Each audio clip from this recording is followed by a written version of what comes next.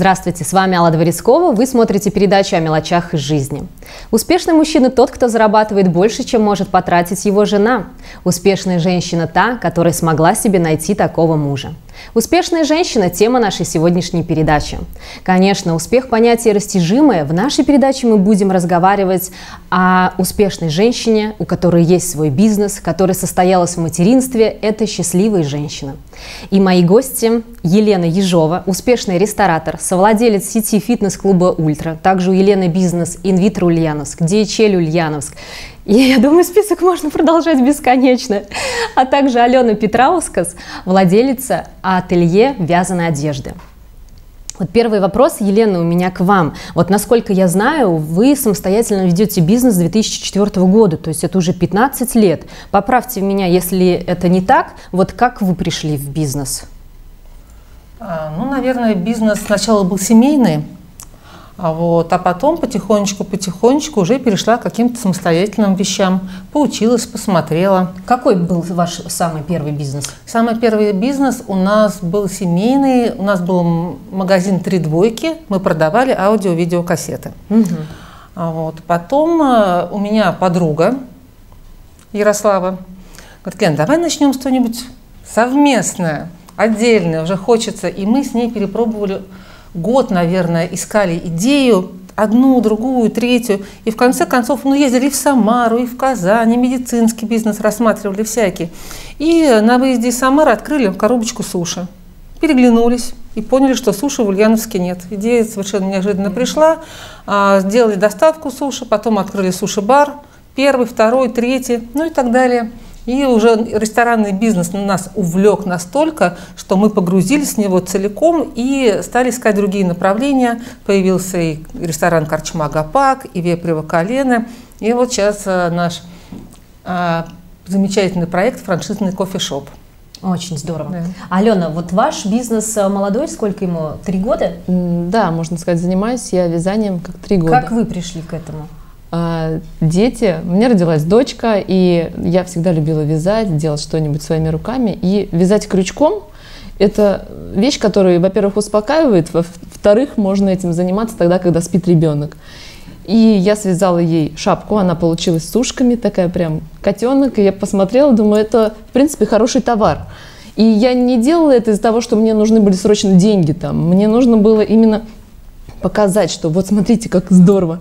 Я выложила, начали появляться уже заказы первые. И начала через интернет эти шапки вязать. И тут э, однажды у меня стало очень много этих шапок, каких-то капюшонов. Дома очень много было этих клубков. Прошел муж, так у меня посмотрел, ты еще машину вязальную все купи. Машина вязальная? Мне нужна вязальная машина. Я начала смотреть в интернете, поняла, что есть интересные варианты, как это можно сейчас использовать. Вот ну, сейчас я в платье собственного производства, то есть можно создавать одежду. Меня это очень увлекло, я начала изучать, и вот теперь я занимаюсь вязанием Алена, одежды. вы, получается, одна ведете свой бизнес или у вас уже есть помощники? Сейчас у меня есть помощники, да, у меня есть две помощницы, и также у меня есть а, ну, как называется, на аутсорсе, правильно я слово говорю? Аутсорс. То есть вы постепенно расширяетесь? Да, постепенно расширяюсь. Я придумываю модель, я ее на себе то есть придумываю, как ее связать, как это обычно происходит, и потом уже ее тиражирую, продаю через интернет. То есть, по сути, это онлайн-ателье. То есть человек, который посмотрел эту, ну, какую-то модель себе выбрал, он может выбрать цвет, и по своим меркам я могу ему связать. То есть то, что в магазине получить ты не можешь. Вы знаете, вот очень интересно, потому что я за свою жизнь э, связала всего лишь маленькое одеяльце для своей куколки. Когда я была маленькой, меня научила бабушка вязать, наверное, крючком тогда это называлось. Да, вот крючком. вы знаете, меня это увлекло, но, наверное, на дня два-три, и потом почему-то, может быть, я не знаю, зависит ли это от темперамента, должен ли человек быть тихим, спокойным, потому что у меня всегда вот улица, у меня какой-то какой-то пропеллер, мне нужны были какие-то очень подвижные, активные действия. Ну, зависит вообще от усидчивости человека. Это Я есть думаю, в этом. Но, например, тоже бывает противовес. Если человек очень эмоциональный, он наоборот иногда уходит вот повязать, и он в этом находит такой свой дзен какой-то. Да, Елена, а вы можете вязать? Я обожаю вязать. Да вы что? Я когда училась в старших классах школы, я очень много вязала. Мама мне купила, спасибо маме, вязальную машинку. Вот. Я когда ходила беременная, невозможно было купить никакую одежду. Я сама себе связала платье. Это здорово. Но тогда мне в голову не могло прийти, что из этого можно сделать бизнес. Так что я восхищаюсь вами, Алена. Молодцы. вами. Вот, Елена, вот э, можете вы сказать для наших зрителей, как начать свое дело? У вас такой большой опыт. Может быть, понятно, что это очень обширная тема, это может быть тема отдельного эфира, но какие-нибудь, может быть, тезисы, какие-то плановые шаги? Вот с чего сейчас вот человек, который хочет, вроде бы мечтает, вот что ему нужно делать? Нужно посмотреть сферу своих интересов и увлечений. Вот что тебе нравится чем-то и, а потом уже как ты можешь это, это монетизировать по большому счету. У Алены так и получилось. Ей нравилось вязать, она это любила, она это умела делать.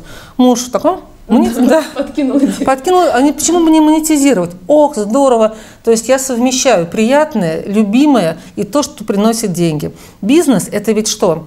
Это то, что тебе нравится и то, что приносит деньги. Если это денег не приносит, то это хобби.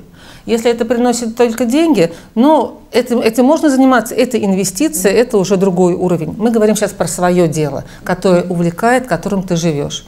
Посмотрите, посмотрите, что вам интересно. Какая Вот сфера? хорошо, человек э, понимает, что я люблю делать это. Дальше что ему нужно искать деньги или а если нет? денег? Вселенная подкидывает ресурсы. Я занималась в фитнес-клубе много лет. И мне это так... Раньше сначала себя заставляла, потом я полюбила это, потом я стала увлекаться этим. И когда я училась в Сколково на MBA Executive, э, у нас была группа, и мы делали проект э, по фитнесу заключительный. И э, говорят, давайте нужно маркетинговое исследование взять, какой-то город для примера. Давайте я сделаю. Для Ульяновска сделала. Мои однокашники посмотрели. Тогда мы идем в Ульяновск. То есть мысль возникла, и Вселенная начала ресурсы подтягивать. Не было компетенции в фитнесе.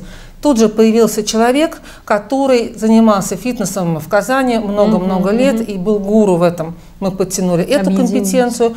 Потом м, мой товарищ ветерианец построил центр торговый. Пойдемте, я вам проведу экскурсию. Вот место для фитнеса. Чем больше ты об этом думаешь, чем больше ты делишься с друзьями, с товарищами, рассказываешь это, обсуждаешь, ищешь информацию, тем больше Вселенная дает тебе ресурсов. И мои партнеры знают, когда очень интересная идея, которая захватывает всех, встает вопрос, а где взять деньги? Я всегда говорю, деньги – это не главное. Деньги приложатся. В конце концов, можно найти инвестора. Если ты настолько уверен, что у тебя идея сработает, то деньги придут. Вот для первого фитнеса нам с партнером квартиры пришлось заложить.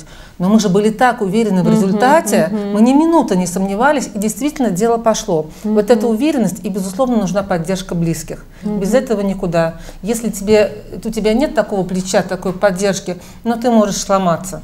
Поэтому окружайте себя такими людьми, которые будут вас поддерживать. И верить в вас, И да? верить в вас, Алена, вы безусловно. согласны? Есть что добавить вам? Да, я тоже считаю, я, кстати, думала над тем, что каждый человек на 80% состоит э, из чужого мнения в основном. То есть какие-то чужие мысли в голове вос- э, чаще всего рождаются. И всего лишь 20, они как раз внутренние какие-то свои. И вот эти вот все накладываются. При этом, э, правильно заметила Елена, нужно окружить себя таким э, качеством людей, которые вот эти 80% будут тебе помогать. То есть они будут работать на тебя, вот эти вот их мнения.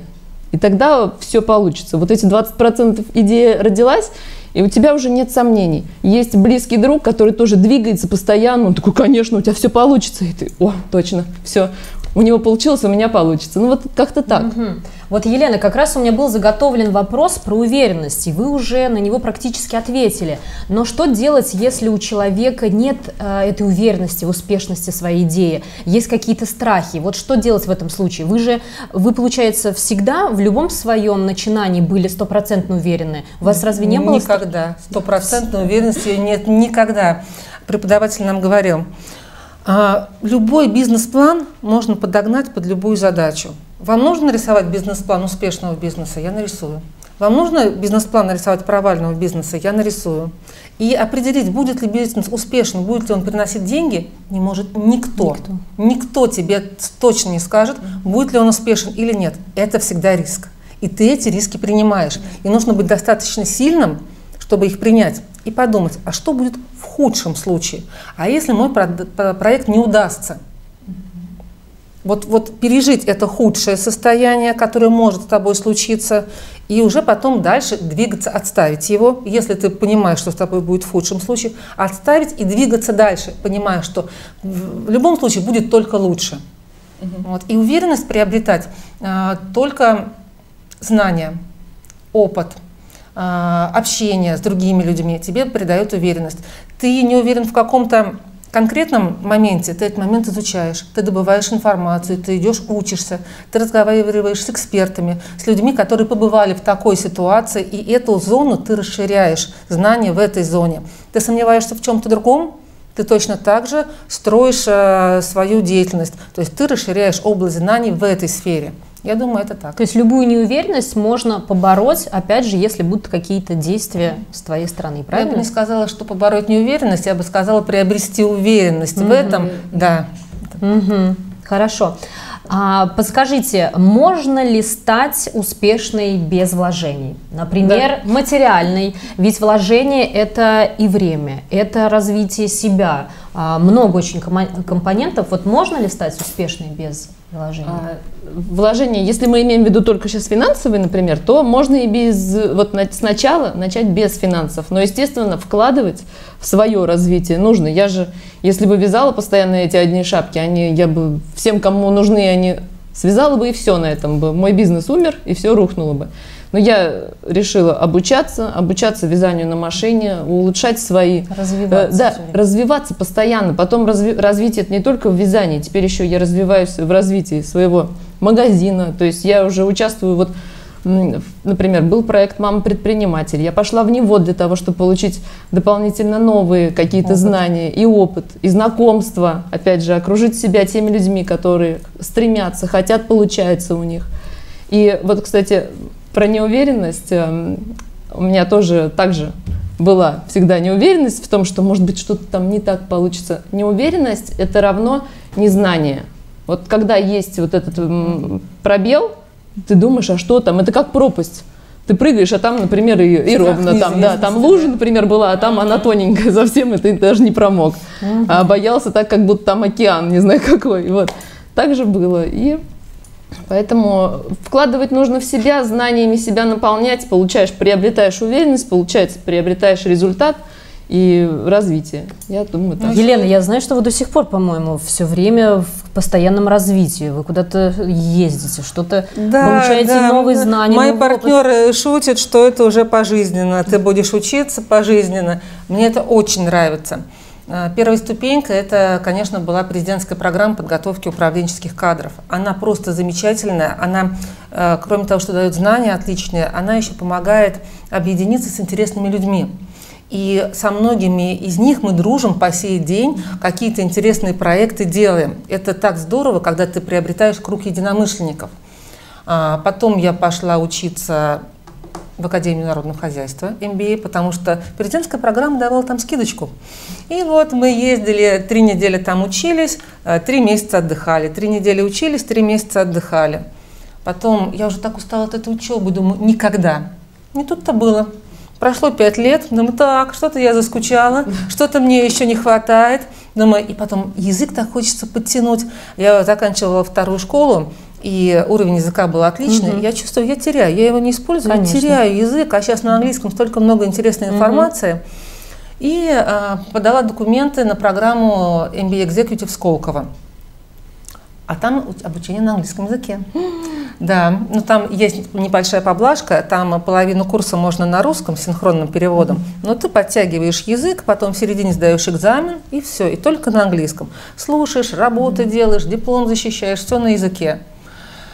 Ну, сказать, что я устала в конце обучения, не сказать ничего, но, боже мой, сколько я приобрела. И ведь фитнес-клуб «Ультра» Это благодаря обучению. Я там встретила своего партнера. Да. Поэтому ты инвестируешь в себя, и эти инвестиции окупаются сторицей, конечно. Елена, да. а вот э, чему вы посоветуете вот тогда, может быть, обучиться вот для всех, для разного уровня бизнеса или вообще для тех, у кого еще нет бизнеса, но только они мечтают? И вот чтобы вот для мотивации, как раз вот чтобы обрести, может быть, новый круг знакомств, подтянуть свои знания, вот куда тогда сходить?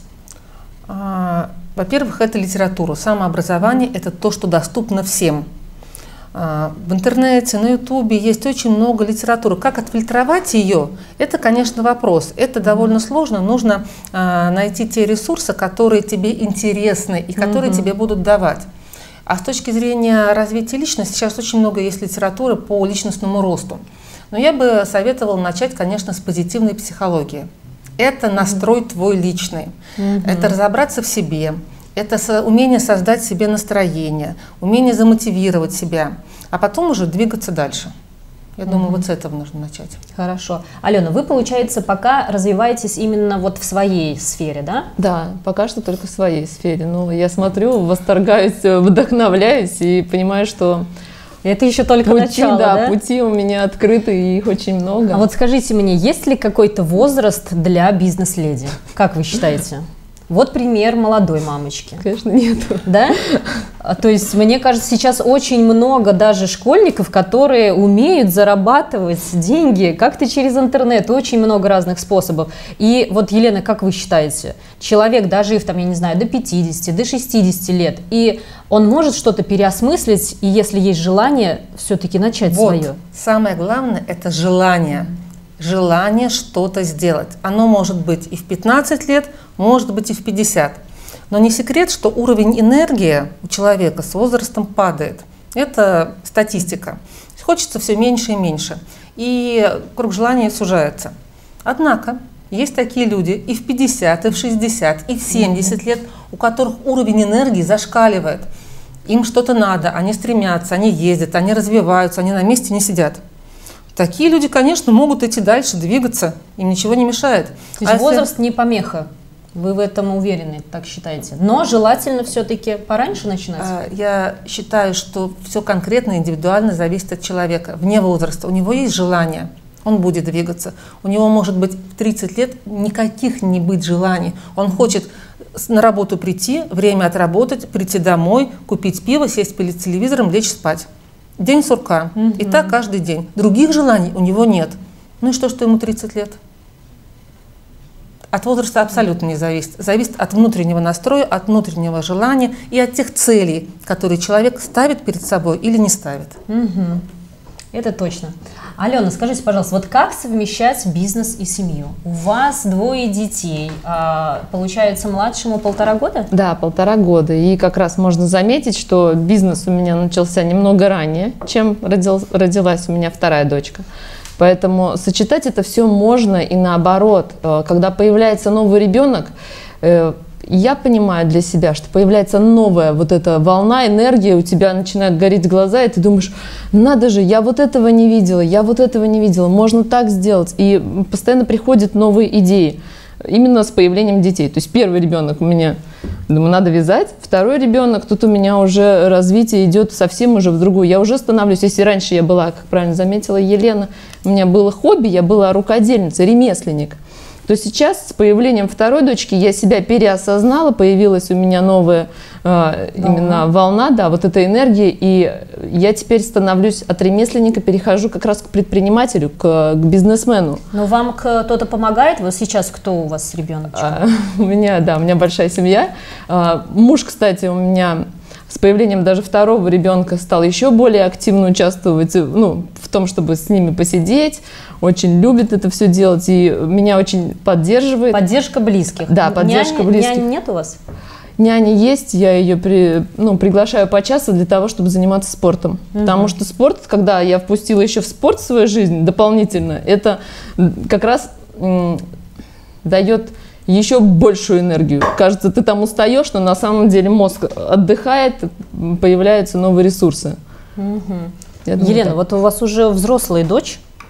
Как вы, получается, вот ее воспитывали? Вы воспитывали сразу ее, может быть, как э, самодостаточную, как бизнес-леди, или вы, э, ну, абсолютно не вмешивались, вот просто вот растет ваш цветочек? Я думаю, что детей воспитывать не надо.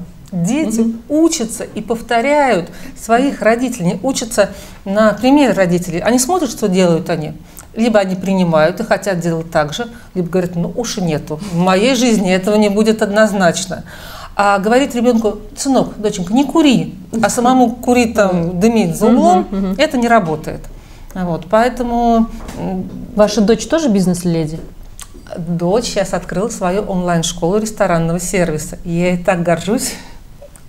А, Она очень разумный человек для, своего, для своих 24 лет. Я считаю, что она очень большая умница, и она умеет ставить цели и к ним двигаться. А, вот. а вообще, если а, возвращаясь к вопросу совмещения работы, карьеры, семьи, я бы вопрос поставила несколько шире. У нас есть работа, у нас есть я – это наше здоровье, это у нас есть наши интересы, у нас есть семья, у нас есть друзья, у нас есть социум. Как все это совмещать? Это очень интересный и важный вопрос. Во-первых, цели. Э, нужно ли тебе это совмещение? Либо тебе достаточно только карьеры, чтобы быть счастливой и успешной, либо ты хочешь иметь и семью, либо ты хочешь общаться с друзьями. Это, знаете, как вот спорт. Можно быть чемпионом мира по стрельбе из лука. И ты все свои ресурсы на это тратишь. А, Ты можешь быть супер успешным бизнес- бизнесменом, остальные сферы тебя в принципе не интересуют. Тебе для счастья достаточно только это. А можно, можно быть многоборцем. Можно поставить себе цель пробежать э, ты дистанцию за столько-то, проплыть на велосипеде и так далее, и так далее, и так далее. Поэтому здорово, когда человек в начале какого-то периода, например, года, ставит себе цели на год по разным сферам, выписывает сферы, которые его интересуют. И говорит, так, в этом году я хочу заняться здоровьем, у меня сейчас такой уровень, я хочу к этому прийти. Что касается карьеры, у меня есть это, я хочу быть это. А Я хочу больше времени уделять мужу и детям, для этого мы запланируем совместные поездки туда-то, походы туда-то. Я хочу заняться личностным ростом, для этого я сделаю то-то, то-то, и прописываешь конкретные шаги, ты ставишь планы на год или на какой-то период. Ведь успешный человек это кто? Это который умеет ставить цели и с успехом их эффективно достигать.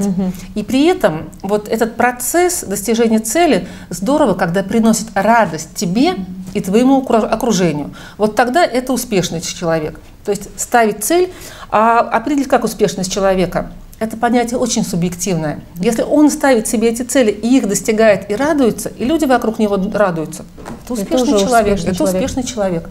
Да, э, Кто-то успешная женщина, которая просто донима- занимается домашним хозяйством, у нее там может быть несколько детей, и она успешна, Верно. она И счастлива, она счастлива в этом. там. И Да. это здорово. Я когда смотрю на таких а, женщин, я радуюсь, потому что они светятся от того, что они делают. Это успешный человек, и хочется быть к ним поближе и обменяться Главное, энергией. чтобы гармония, наверное, Конечно. была с собой. Верно, верно. С собой и с окружающими людьми. Миром. Миром. Алена, вот подскажите, какими качествами, на ваш взгляд, должна обладать успешная женщина? Есть какие-то определенные качества или это все тоже очень индивидуально? Качество обязательно это позитивное мышление. Потому что если э, постоянно она просыпается с мыслью о том, что блин, нет, сразу просыпается, ура, новый день. Я рада, смотрите, у меня есть дети, у меня они там вот этот начал говорить Позитивный первое настрой. слово. Да, позитивный настрой. Ты смотришь, вдохновляешься, тогда позитивный настрой без него просто никуда. И обязательное качество, конечно, позволять а, Многие девушки не позволяют себе своих желаний, позволять себе делать то, что хочется. Не делать то, что нужно, а делать то, что хочется. При этом позволять другим делать то, что хочется. Потому что, баланс. э, да, потому что мы иногда хотим, чтобы у нас было вот так, и вот этот человек делал, как я хочу. Так тоже не получится. Гармония должна быть, тогда получается человек радостный и позитивный. Разрешать всем, каждому быть собой и себе. Елена. Не нарушая Как при этом границы других людей. Да. Да. Я согласна с Аленой полностью. Вот настрой, иногда а, читаешь комментарии, да ты такой, да ты секой, да у тебя ничего не получится. Думаешь, боже мой, ты встань с дивана. Иди что-то сделай. У тебя есть свои желания. Да, правительство, гады, грязный двор, горы мусора. Возьми лопату. Выйди на улицу. Начни с себя, Начни называется. со своего двора. Договорись с соседями. Почистите двор. Свою энергию вложи в улучшение мира и порадуйся, что мир стал лучше. И это здорово. Когда вот такое происходит, если каждый из нас начнет себя и возьмет на себя ответственность за то, что происходит в его жизни и в жизни близких ему людей, вот тогда мир станет лучше. Угу. А как же целеустремленность, э, напористость, уверенность? Это совсем не обязательные качества? Это энергия, внутреннее умение увлечь других людей. Одно дело, ты пойдешь сам с лопатой чистишь, а, чистить снег, а другое дело, ты обижишь всех соседей, да. создашь инициативную группу, там ВКонтакте страничку там заведешь и пойдешь, значит, у нас такая старшая по дому, Алла. Боже мой, она перекрыла крышу, она обновила фасад, она добилась какого-то выделения средств на двор. Наш двор признали самым лучшим. Вот неиссякаемая энергия одного человека делает жизнь людей вокруг намного лучше. А наша задача какая? Ее поддерживать ее поддерживать в этом. Она большая умничка. То есть, Елена, получается, успешная женщина должна быть э, не наделена вот э, этими, э, даже вот каким-то мужским неким характером, напором. Она, она должна быть просто наполнена энергией. Правильно? Ну, конечно. И направлять ее правильно в нужное русло. Все знаете. А вот скажите теперь следующий вопрос. А верно ли, что успешных женщин мужчины побаиваются? Как вы считаете, Алена? Смотря как они себя ведут. Если они женщины. уперлись совсем в карьеру и не видят совсем никого рядом, не дают возможности им даже пробиться, конечно, их побавятся, они думают, ну ладно, Грубо тебе такая, да? даже не подойдешь, да. Мужик есть, в юбке. Но это вот как раз про то, что про э, вдохновление других людей. Это вот если она бы, например, ваша старшая по дому взяла бы все сама в свои руки, злилась бы, делала все, там, чистила бы снег, проходили бы мимо мужики, и она такая, что вы здесь ходите, я тут, ну, я такая вся чищу. Нет, надо по-другому. Она, вот я, лопата есть, давайте сделаем двор, устроим чаепитие, сделаем э, жизнь лучше. И тогда все подтягиваются, и как бы вот через ее дело, так же самое да, в любом бизнесе. Женщины, да, могут, ну, да. быть организаторские способности. Ведь мы все накрываем стол и приглашаем гостей. Да. Какая наша задача? Организовать праздник. Суметь сделать так, чтобы все были сыты, все сидели в нужных группках, общались друг с другом, чтобы на столе, на столе все было, чтобы дети на отдельной площадочке занимались. Представляете, что такое организовать большой день рождения или свадьбу, или праздник? Да? Это какие управленческие усилия нужно вложить? В бизнесе то же самое. Ты точно так же вкладываешь те же самые управленческие усилия. Это ничем, по сути, не отличается. Ты умеешь, если ты умеешь организовать праздник, это проект – да. То, то же самое ты делаешь проекты в бизнесе. Это... Елена, вот вы много общаетесь с противоположным полом. Как угу. вы думаете на этот счет? Мужчинам угу. нравятся успешные женщины? Или, может быть, они побаиваются все-таки их? Или им интересно с ними общаться, они подпитываются? Вот что вы можете сказать из своего Знаете, опыта? Конечно, некоторые боятся, но боятся слабые, неуверенные в себе мужчины. А мужчина, который твердо стоит на ногах, да даже знает, чего хочет. Может, он еще и не твердо стоит на ногах, но у него есть, есть цели. Есть цели, он умеет поставить цели, у него есть желание достичь этих целей, ему хочется, ему интересно общаться. Вот э, в, в моем круге общения мужчины, с которыми я общаюсь, мы же общаемся на равных, и я думаю, что мы друг другу испытываем уважение. И самое первое, надо научиться дружить не смотреть на противоположный пол, как мужчина и женщина, угу. а как на человека, на интересного человека, с которым можно дружить, с которым, у которого можно учиться, у любого человека можно научиться чему-то. Я не умею играть на фортепиано, и это пока моя мечта. Я уже по себе поставила да? цель, я хочу научиться, ну хотя бы трям-брям. Угу. Вот. Соответственно, я очень уважаю людей, которые умеют это делать. Я хочу у них научиться этому качеству. А, у меня, возможно, чему-то другому кто-то хочет научиться. Мы обмениваемся вот этим опытом совершенно на равных. И мы можем обменяться только вот с такими людьми, которые хотят это делать, у которых есть желание. А с другими неинтересно общаться. Вот следующий вопрос. Как пережить черные полосы в жизни? А как переживать различные трудности, которые возникают при достижении цели? Ведь наверняка они есть хоть маленький бизнес, хоть э, большой уже успешный, но он же претерпевает многое, наверное. Как Конечно, вы считаете, Алена? Это нужно в себе в голову правильные а, такие скоро, ну, как не скажу, поговорки правильные. Все, что не делается, все к лучшему. Надо вот такого плана для себя несколько выделить и их хорошо-хорошо вспоминать и применять. Потому что когда что-то происходит, я думаю, так, ладно, для чего это нужно. Я принимаю этот, ну, что-то, какой-то результат, который мне не, не нравится. Я бы его не хотела. И после принятия я думаю, это же не смертельно, ничего такого страшного нет, можно, можно дальше двигаться. Ноги идут, руки есть, все, голова есть. Я начинаю делать следующий шаг, думаю, отлично. А потом, спустя какое-то время, приходит осознание, для чего это было. И то вот есть этот получается... опыт Плохой, как говорится, есть тоже поговорка, по-моему, да. плохой опыт тоже опыт, что тоже вот опыт. Этом... Ну вот какие-нибудь такого плана поговорки, которые именно со знаком плюс. Нужно их применять в своей э, Елена, жизни. Что вы скажете? Если что-то происходит в жизни, что мне не нравится, что выводит меня из себя, я, конечно, дам волю эмоциям однозначно. Я погорю, я покричу, а, я поплачу. Ну, желательно, чтобы, конечно, никто этого не видел. Эмоции я выплеснула, и их нельзя держать в себе обязательно. Выплескиваешь эти эмоции. Потом включаешь мозги. Когда у тебя эмоции на взводе, принимать решения нельзя, угу. потому что мозг отключается, и ты на эмоциях можешь принять очень неправильное решение. Угу. Но их обязательно нужно пережить. Вот ты это пережил, успокоился и думаешь, так, дорогая, а теперь действовать. Что мы можем сделать в этой ситуации, если у нас план «Б»? И начинаешь уже, ага, а или вот так, или вот так, или вот так, мозги зашевелились, и тебе уже не до переживания. Да. У тебя уже включается... Есть новое дело. Конечно, есть дело, есть цели. Ты уже идешь к этой цели, ты подтягиваешь ресурсы, ты улучшаешься, и потом уже оглядываешься на эту проблему. Ха, это вовсе это не, не проблема. проблема. Она действительно мне нужна была для того, чтобы я достигла еще больших высот. Появился конкурент, а, все, все пропали, мы все умрем. Угу. Потом для чего он появился? Чтобы мы стали лучше.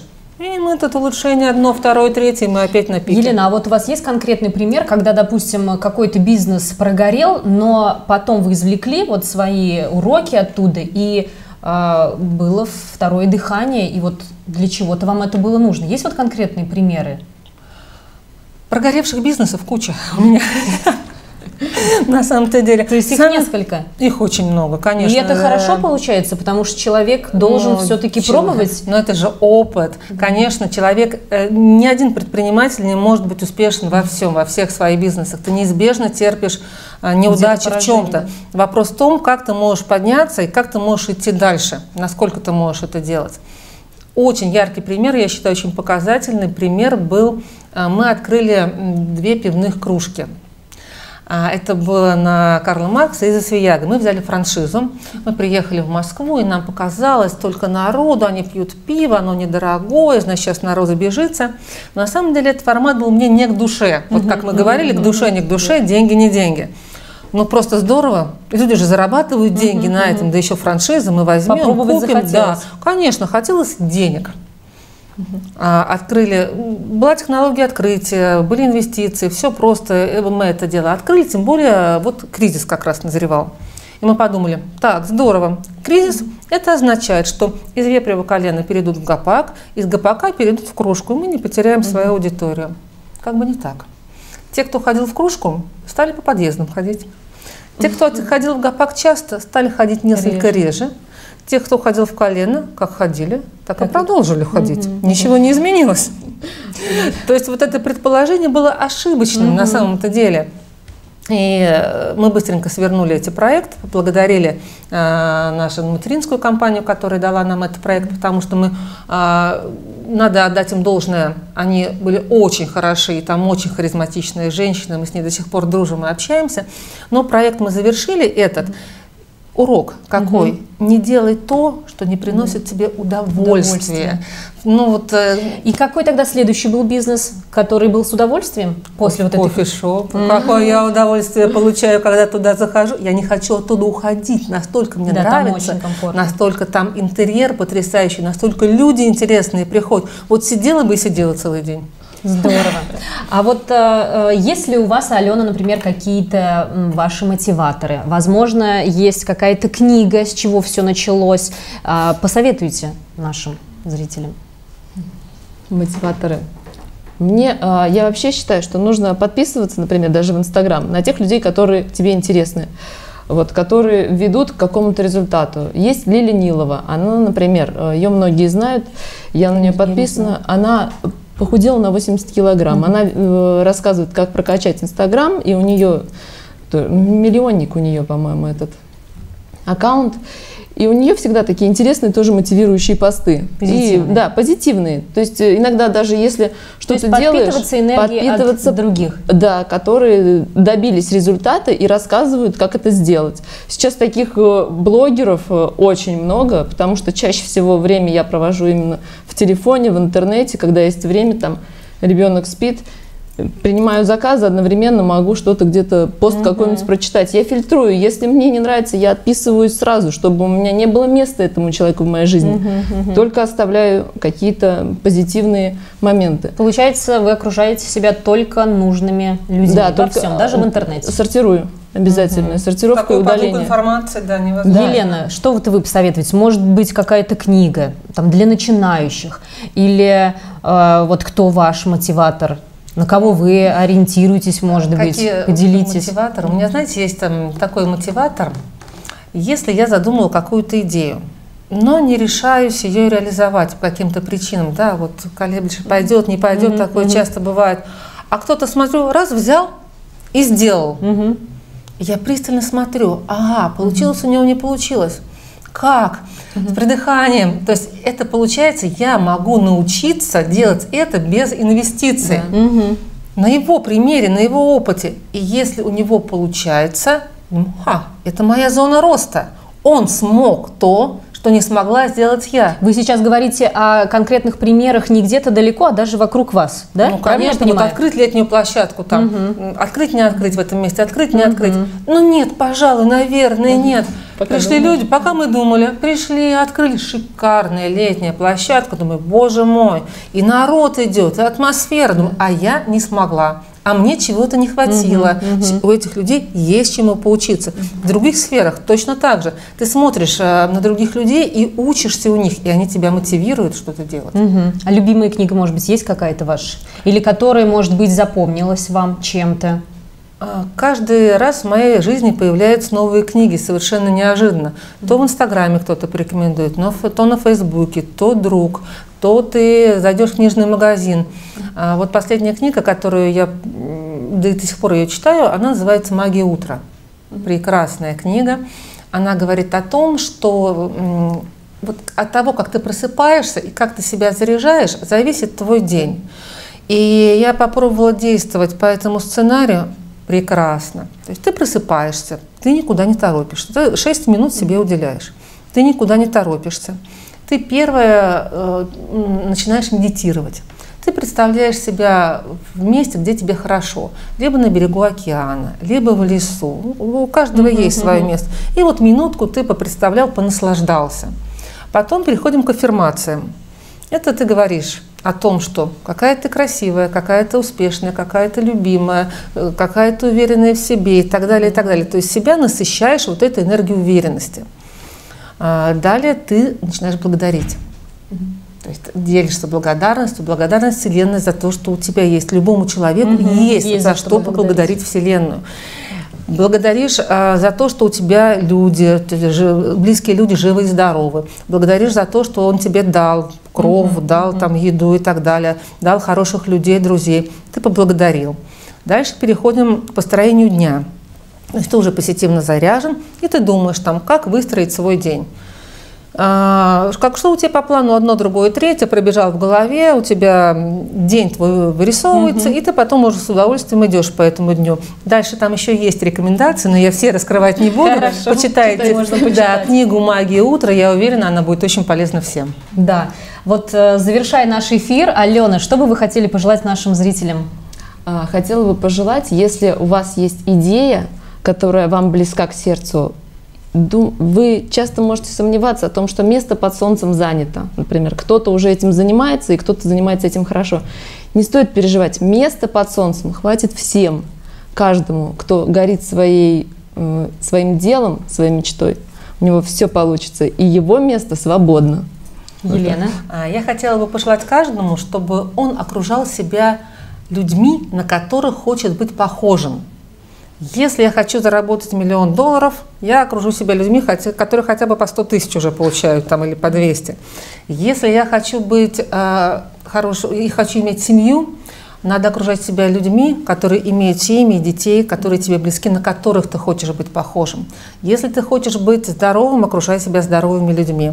Заниматься спортом, заботиться какие-то медицинские вещи, анализы сдавать постоянно, что-то, задумываться о том, как ты живешь. То есть, и того, окружай себя людьми, на которых ты хочешь быть похожим. И тогда ты будешь расти и будь достигнешь своих целей. Любите себя, любите своих близких, верьте в себя, и у вас обязательно все получится. С вами была Алена Петраускас, Елена Ежова и ваша Алла Дворецкова. А мы обязательно увидимся с вами в следующем эфире. До новых встреч. Пока.